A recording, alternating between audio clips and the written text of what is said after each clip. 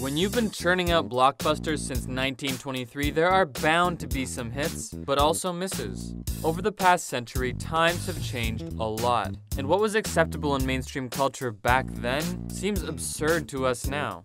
And Disney Plus is reminding us just how far we've come. Of the hundreds of movies included on Disney Plus at launch, there are some that feel, let's say, out of place in 2019. Join us at the Binger as we brush away the cobwebs and take a look at all the movies on Disney Plus that probably should have stayed in the past.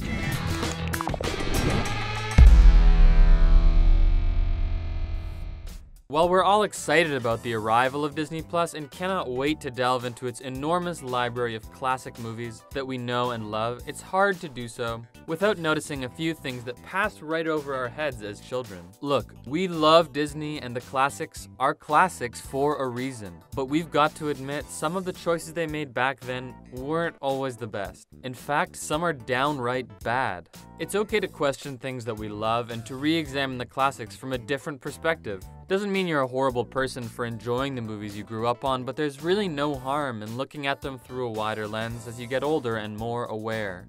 The thing about Disney and all of the scenes and moments and character depictions that were once deemed a-okay and now make us pull out our collars and cringe is that it sparks a pretty hot debate. Some go as far as to believe everything offensive should be erased because it's harmful to huge groups of people. And some think it's important to remember that there was a time when these things were considered acceptable, and that pretending they never existed does more harm than good. Whatever side you land on is up to you, but man is it impossible to ignore some of these Disney movies that really have not aged well. Some infamous ones are even being deliberately left off of the streaming service. Most notably, of course, is Song of the South. Never has a kids movie sparked so much debate. So much so that Disney hasn't even released it in any form since 1991. They seem to be in favor of just pretending that it never existed. If you've never heard of Song of the South, all we can really say is that it took place in the American South right after the Civil War. And it yearned for, and this is a quote, keep in mind, the good old days.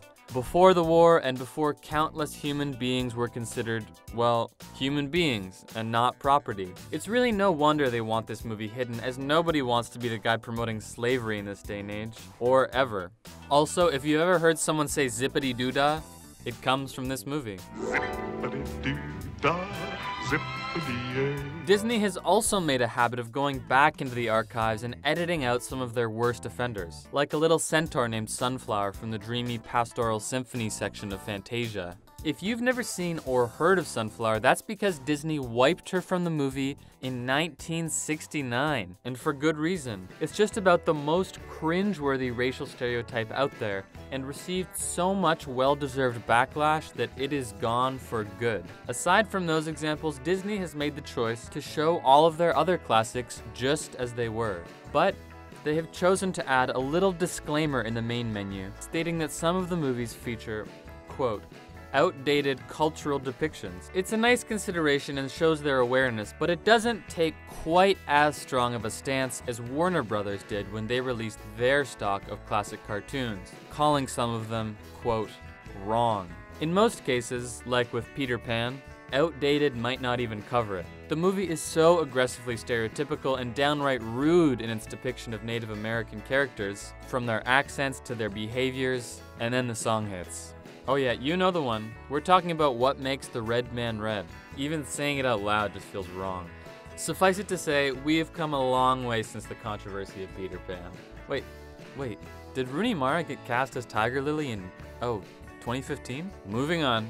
The official Disney Plus description of Pocahontas reads as follows. Inspired by a real-life Native American legend, free-spirited Pocahontas must listen with her heart to help her choose which path to follow. They've got to be using the term inspired by very loosely here, because in the real life Native American legend, Pocahontas and John Smith never hooked up, and with good reason. She was somewhere between the ages of 11 and 14 when they met. Dumbo is a heartwarming story and a good movie, but there's a group of secondary characters that has ruffled some feathers over the years. Since the 60s, people have been claiming that the group of crows presents stereotypical versions of African Americans. And This claim is backed up by the fact that the leader of the Crows was originally named Jim Crow. An insensitive choice, to say the very least. Dumbo is one of the movies that Disney has stamped as, quote, outdated, as if calling an African American stereotype Jim Crow is alright in one time period, but not in another. When you look past the iconic spaghetti scene, there's lots to be uncomfortable about in this movie. Pretty much every animal character in the movie is a sloppy stereotype of some nationality. There's German, Italian, Scottish, and even Cockney. We could be charitable and let this slide because they do caricature pretty much everyone. But then there's a pair of cats who refer not to a specific country but just Asia. The Siamese cats are named Si and Am, a nod to the former name of Thailand. But there's nothing specifically Thai about these two cats. Believe it or not, that's not the only time Disney reached for the low hanging Siamese cat fruit. This time it's just one cat playing the piano with two pairs of chopsticks and shouting the phrase, fortune cookie always wrong. This is one, offensive, and two, simply not true. Fortune cookies are so vague that they're often right. The first thing that comes up when you talk about Aladdin nowadays is Will Smith. The second is the fact that in the original, all the good guys are light skinned and the bad guy is not. Maybe it's just a coincidence, but considering Disney's track record, probably not. The mostly white cast put on Arab accents too, including Robin Williams, aka the Genie. There's also that famous line in the opening song meant to situate you in the Middle East, quote, where they cut off your ear if they don't like your face. It's barbaric, but hey, it's home. Have you ever heard someone get called a lemming? It's a common saying and it means pretty much don't be a mindless follower. It comes from the widely held belief that lemmings, which are cute Arctic rodents, intentionally end their lives en masse by running off of cliffs. This is not true. It's a myth created and spread by Disney with a so called documentary. Instead of simply observing and filming the nature, the movie's crew herded the lemmings off of a cliff. Whose idea this was, we do not know. The movie is called White Wilderness, and it's on Disney Plus. Here's the description. Nine daring photographers spend three years in the Arctic wilderness to bring you the true life adventures of walrus, polar bears, lemmings, and vicious predators. The movie exists in its original form with no acknowledgement of the lie. Almost everyone in the Jungle Book has a British or American accent. Are we all in agreement as to what must be done? Including Mowgli and the Vultures, whose accents are apparently based on the Liverpool drawl of the Beatles. Hey, Flaps. What we gonna do? But there's one outlier.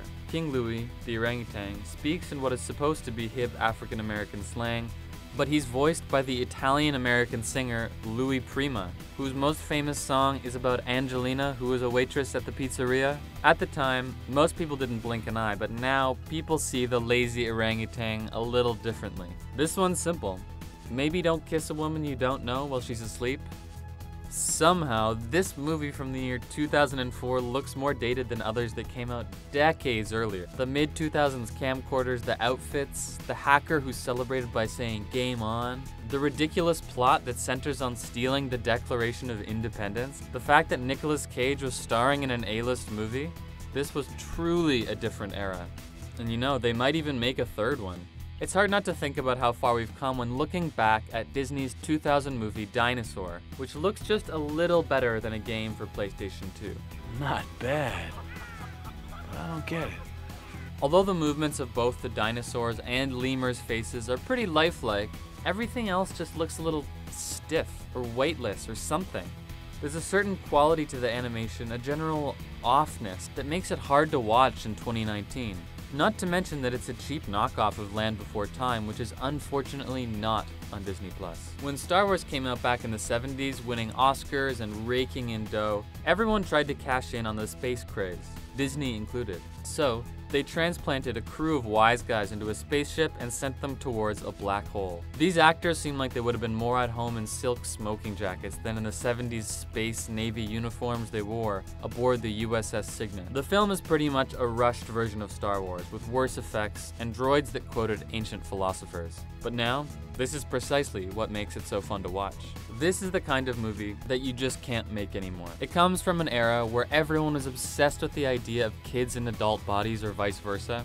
In this one, the late Robin Williams plays a kid in grade 5 who grows four times faster than other humans. So instead of looking like he's 10, he looks like he's in his 40s. He buys porn for his other 10 year old friends and has a mom who's obviously younger than him. At best, this is an uncomfortable movie to watch.